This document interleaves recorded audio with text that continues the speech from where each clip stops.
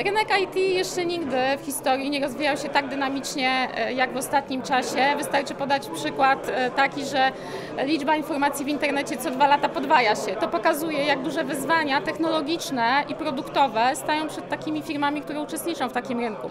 A dystrybutorzy muszą spełniać takim sprostaniom tak rozwijającego się e, rynku. Rynek IT będzie miał w kolejnym roku bardzo dużo ciekawych nowinek technologicznych do zaproponowania swoim klientom. Modularny typ e, telefonu komórkowego Moto Z, który będzie można zamienić ze zwykłego telefonu komórkowego na urządzenie bardzo multimedialne, a więc podłączyć do niego projektor, podłączyć do niego zewnętrzne e, bardzo dobrej jakości głośniki e, i różne inne jeszcze ciekawe urządzenia. Kategoria 3 w 1, czyli, czyli smartfon z funkcją desktopa, to jest kolejna kategoria, która, która będzie się rozwijać.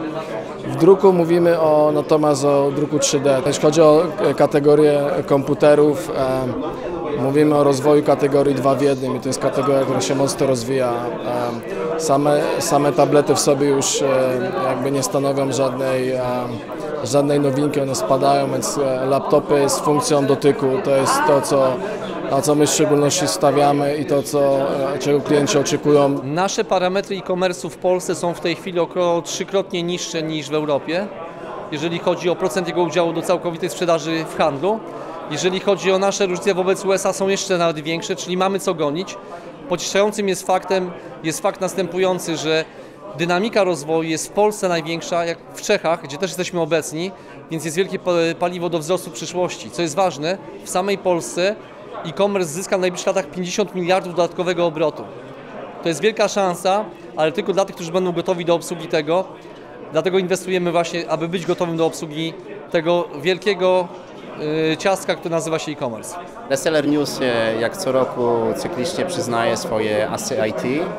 E, No i Lenovo po raz trzeci z rzędu otrzymało dzisiaj prestiżową nagrodę producenta roku, z czego osobiście jako szef Lenovo w Polsce bardzo się cieszę. Nasi klienci głosowali dzisiaj na nas jako najlepszego dystrybutora, czyli to jest poziom do wielkiej dumy, że nie tylko mamy największe obroty, ale też najlepiej obsługujemy naszych klientów. Udało nam się uzyskać ASA w kategorii innowacje i, i to jest dla nas em, kolejny dowód na to, że warto być innowacyjnym i, i warto być krok przed konkurencją, bo tylko wtedy można uzyskiwać uznanie wśród, wśród klientów, czytelników, em, czy też szeroko rozumianej publiczności. Takie nagrody cieszą zwłaszcza w tak trudnym okresie i burzliwym okresie, e, jaki w tej chwili przeżywa e, cała branża dystrybucyjna i wyzwania, które, e, które, które generuje sam rozwój i rozwój technologiczny i rozwój rynku IT. To niewątpliwie trudny czas do zarządzania, dlatego te nagrody niewątpliwie bardzo cieszą, bo to jest dowód uznania dlatego, że radzimy sobie, a radzą sobie zawsze najlepsi.